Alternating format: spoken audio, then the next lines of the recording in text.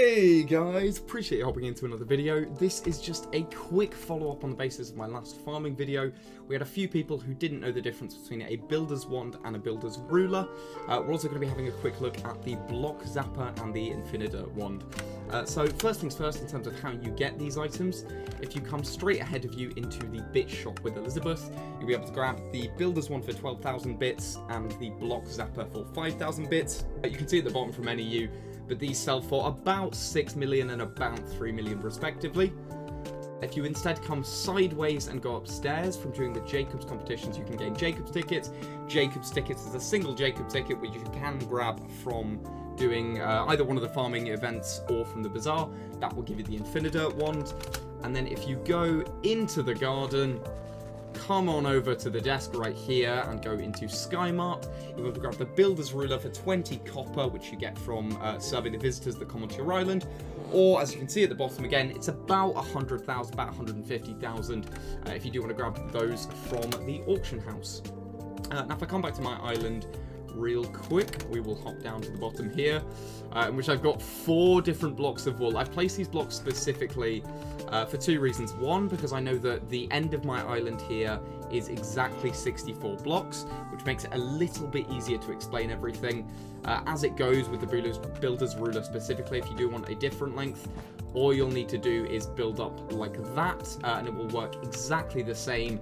Uh, or if you do have a platform like I do, uh, then this is kind of considered an invisible wall because of the gap of blocks here.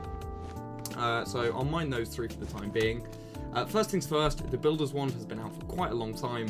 Uh, I'm sure most of you already know how it works, but just in case, you click on the side of a block, and as long as you have that block either in your inventory or in the Builder's Wand, it will allow you to build out either to build lines, we've built lines of four there, uh, and that will continue until you reach the limit of 241. Uh, equally, with the InfiniDirt wand, you just click, it will take one coin out of your purse, and if you put the InfiniDirt wand into the Builder's wand, you will be able to extend that dirt infinitely and it will charge you respectively. Uh, that little 14, 12, 16 coin icon that's appearing just in the middle there, uh, that is from one of my mods, that's from Skyblock Extras. Now one of the main advantages of this builder's ruler, which is the main reason that I mentioned it specifically in my garden video, is that A, if you click here, you can see there we will immediately build a straight line but also the fact that if you layer these up properly, so were I to go orange, green, green, orange, green, green, orange, green, green, and repeat, that when I start clicking with this block, it will then replicate that pattern as I start pasting. Uh, this is how I managed to get the look of that was glass. Uh, I believe I had prismatic lights and wool for my bottom one. Uh, but the one thing I will say with that is be careful about having blocks in your inventory. Uh, if you have used the removal function, they will usually go into your inventory, so you do have to be a bit careful here. Because if I now start clicking, that's when the pattern will start getting destroyed.